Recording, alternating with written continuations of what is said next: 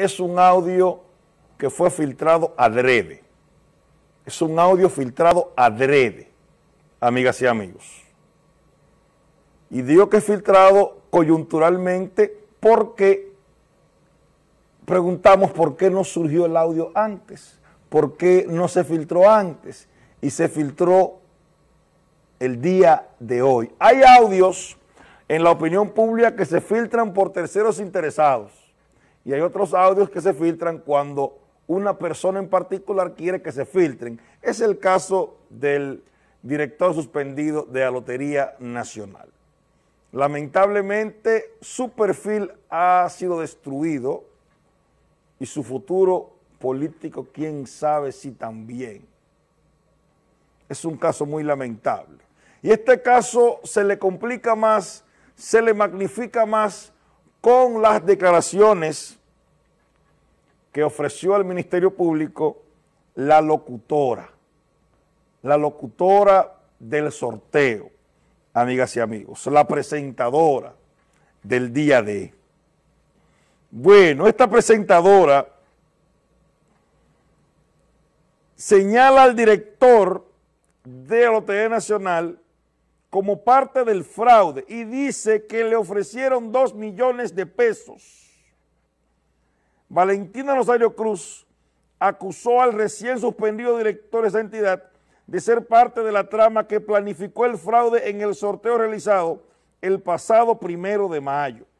Según el interrogatorio obtenido en exclusiva por Noticias SIN, la locutora relató al Ministerio Público que Luis Michel Dinsen le dijo en el ascensor que alguien se le iba a acercar y que le iba a hablar de un sorteo especial, agregando que unos días después se le acercó una persona a quien identificó como Nazaret y le dijo que conocía al expresidente de Fenabanca, William Rosario, que es el mejor amigo del suspendido administrador.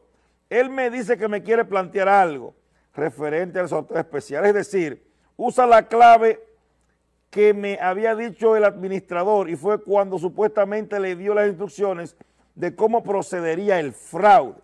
La conductora de sorteos desde inicio figura en la querella interpuesta por la Autoridad Nacional y dijo que le ofrecieron dos millones, amigas y amigos, para que participara en la componenda, pero solamente llegaron a entregarle dos partidas de 7 mil y 15 mil pesos. ¿Cuántos encuentros asegurados obtuvieron? ¿Quiénes participaron en esas reuniones? ¿Cuántas veces ensayaron?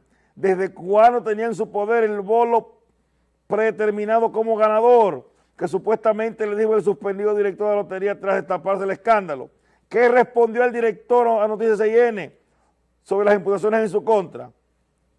Dios mío, qué lío. Se le complicó la situación a este joven, a este administrador suspendido, el señor Dicen ya no hay forma de que él pueda salvarse en este proceso.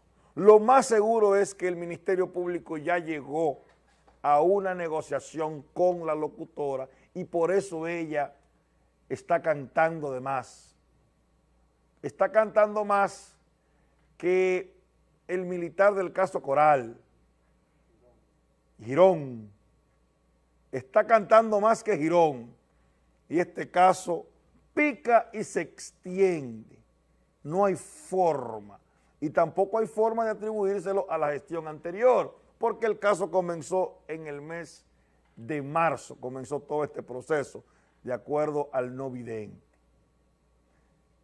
Lo que yo puedo colegir es que el Ministerio Público está, está buscando negociar con las partes para caer encima del pez gordo. En este caso, el pez gordo es el administrador de la Lotería Nacional, amigas y amigos. Es el pez gordo. ¿Ustedes creen que este señor, el señor dicen, va a caer, lo van a procesar, le van a imponer medidas de coerción le van a imponer la medida más gravosa que es la prisión preventiva, como el Ministerio Público la ha solicitado y se le ha impuesto a los otros imputados de los otros casos de corrupción, tanto el caso Coral como el caso Antipulpo, el Ministerio Público va a salir con la misma intensidad, con la misma pasión, con el mismo deseo. Creo que este es el momento de casarse con la gloria y de dar a entender que en República Dominicana existe real y efectivamente una justicia independiente. Esperamos que así como se trabajó con la gran pasión, con el gran deseo, en el caso Coral, en el caso Antipulpo, también se actúe con la misma fuerza, con la misma firmeza en este caso. Y de verdad que esto va demasiado rápido. Esto va demasiado rápido. La gestión gubernamental no tiene nueve meses. El caso de Faña, por un lado. Este caso, el de Kimber y la ministra de la Juventud, entre otros. Esto va demasiado rápido.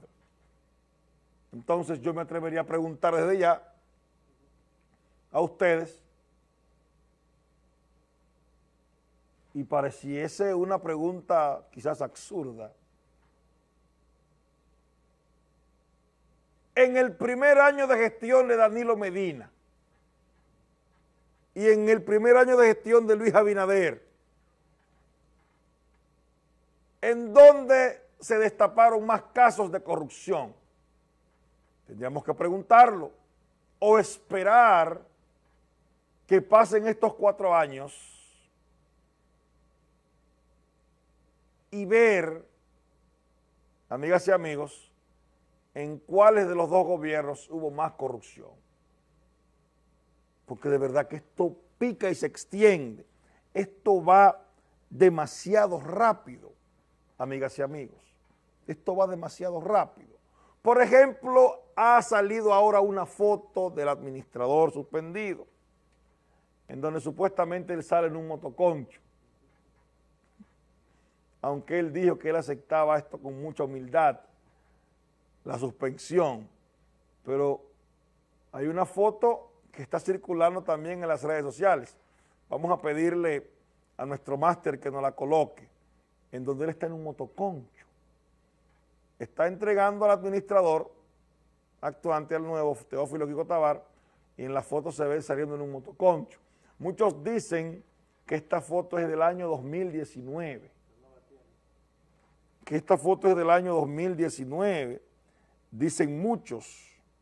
Sí, la foto está ahí, está ahí, yo se la envié.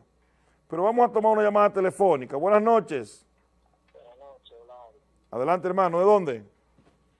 Aquí, de San Francisco, de Macorís. Mira, todo siempre eso seguido tu programa. Eh, comunicadores como tú que hacen falta. Gracias, hermano. No te tiemble pulso para decir la realidad.